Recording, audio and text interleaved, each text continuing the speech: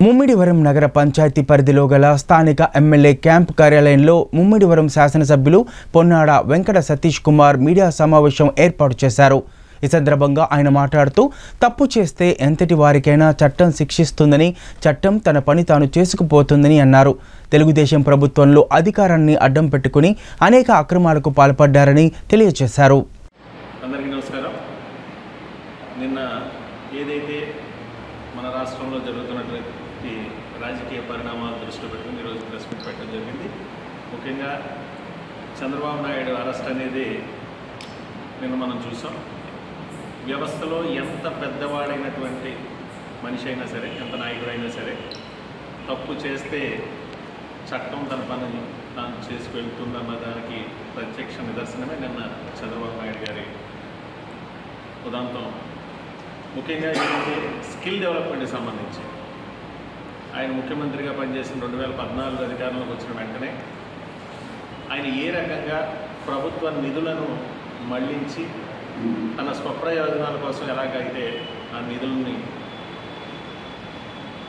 ఆయన వాడుకున్నారనేది మనం క్లియర్గా నిన్న సిఐడి ప్రెస్ మీట్లో మనం మనం చూసాం.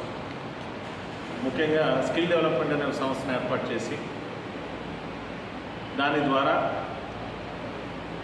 ఒక కంపెనీకి సంబంధించి స్కిల్ డెవలప్మెంట్ ప్రోగ్రెస్ను అప్ ప్రభుత్వం నుంచి టెన్ పర్సెంట్ వాటా కింద ఏదైతే నిబంధనలకు అనుగుణంగా ఒక వ్యవస్థను తయారు చేసి దాని ద్వారా ఆ కంపెనీ ఎలా ఉందో ఎక్కడుందో అనేది తెలియదు కానీ వీళ్ళు ప్రభుత్వం చెల్లించాల్సిన డబ్బుని ఆ కంపెనీకి చెల్లించినట్టు చూపిస్తూ దాన్ని మళ్ళీ విదేశాలకి ఆ కంపెనీ నుంచి విదేశాల ద్వారా హవాలా ద్వారా మళ్ళీ తిరిగి నగదు రూపంలో చంద్రబాబు నాయుడు స్వప్రయోజనాలకి ఏ రకంగా డబ్బుని తిరిగి తీసుకొచ్చారనేది పూర్తి ఆధారాలతో సహా సిఐడి నిన్న బహిర్గతం చేస్తూ చంద్రబాబు నాయుడిని అరెస్ట్ చేయడం జరిగింది.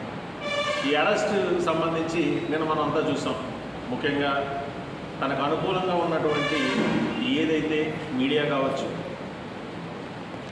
అలాగే వాళ్ళకి సంబంధించిన ఈ సోషల్ మీడియా కావచ్చు. చంద్రబాబు నాయుడు అరెస్ట్ ఏదో అరెస్ట్ చేస్తే అంటే వైఎస్ఆర్ కాంగ్రెస్ పార్టీ ఏదో దురుద్దేశంతోనో కక్ష సాధింపుగానో అరెస్ట్ చేశారని చెప్పి ఇవాళ ప్రభుత్వాన్ని దుమ్మెత్తిపోసే పరిస్థితి మనం మీద చూసాం. ఎక్కడ ప్రభుత్వ ప్రమేయం లేకుండా గతంలో అసెంబ్లీ సమావేశాలు జరిగినప్పుడు కూడా ముఖ్యమంత్రి గౌరవ ముఖ్యమంత్రి గారు చాలా క్లియర్గా ఈ స్కామ్ వెనకాలన్న ఏదైతే పూర్వపరాలన్నీ కూడా అంటే ఏ రకంగా ఇది క్యాబినెట్లో పెట్టారు?